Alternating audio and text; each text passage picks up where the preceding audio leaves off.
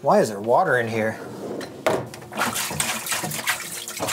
Dishwasher hasn't been used in days. And the dishwasher drains perfectly after it completes a cycle. There's a couple reasons why water may be going into your dishwasher when it's not in use. Let's jump right in. One reason your dishwasher may be filling up with water when it's not in use could be due to a faulty water inlet valve, also known as a solenoid valve.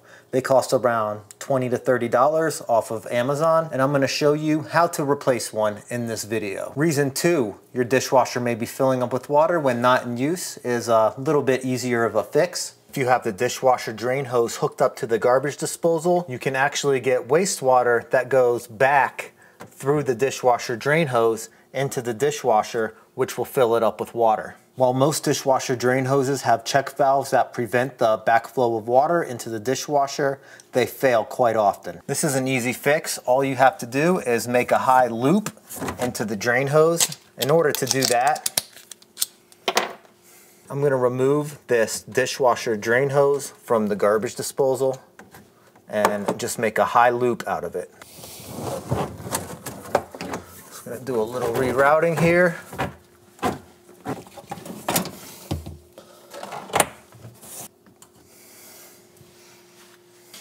So I moved the drain hose over here to the air admittance, near the air admittance valve, and just, I'm just looping it up above the garbage disposal. So water, when this, even if this gets clogged up, it doesn't flow back into the dishwasher. Tighten this back up.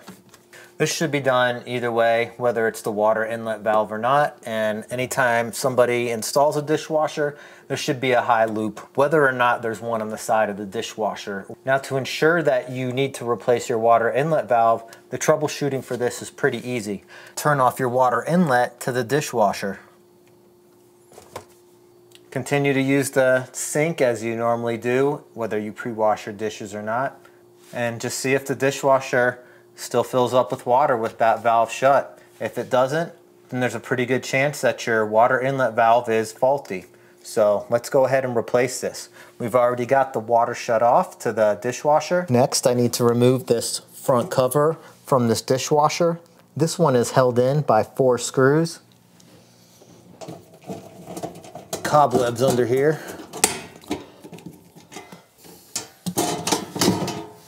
Now we can access our water inlet valve.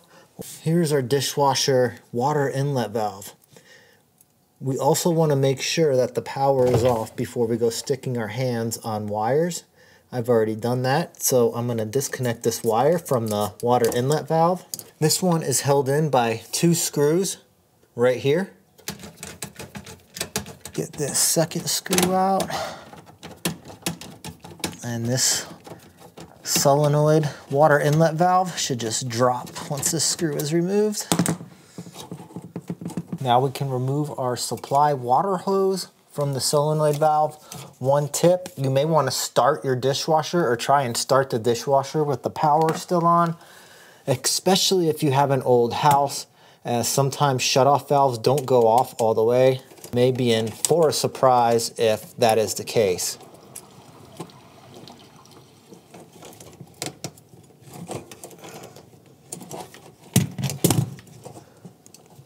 Gonna give that a little turn.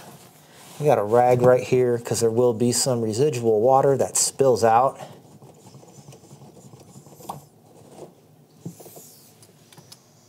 Look at that valve. That is clogged up. Next, I'm to remove this hose clamp from the dishwasher drain hose. And just pull it out and got some residual water there. Grab our new valve that I got off Amazon. It is identical. Slide that drain hose over. I'm gonna reuse this old clamp because these are pretty reliable for this application. Tighten the supply water hose onto the water inlet valve. Feel like it's not going on. You don't want to cross thread it and force it. See how that O-ring is not sitting flush. Could have messed something up there. Connect the supply water line to the water inlet valve. No need for Teflon tape. There's a rubber washer in there. Get that hand tight. Then I'm going to do about a quarter of a turn with a pair of pliers. Maybe a little more than a quarter. About a half turn. No need to go any more than that.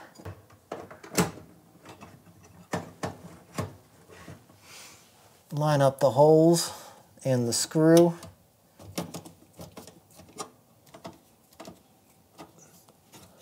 Hook up your electrical connections to the water inlet valve. Make sure it snaps into place. Before we put on our front cover for the dishwasher, we want to turn the water back on, reapply power, and check for leaks.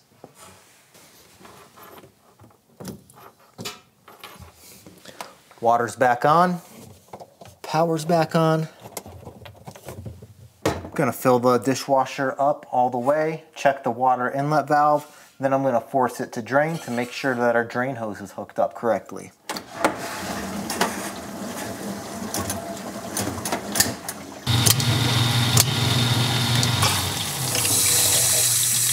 Look for any drips around the water inlet connection. We're now in drain mode. I don't see any drips. We can now reinstall the cover, but first I'm gonna clean all this up.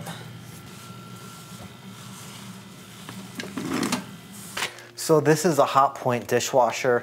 I ordered my new water inlet valve off Amazon.com. If you need a water inlet valve for your dishwasher, most of the times you can find your model number right here on the side.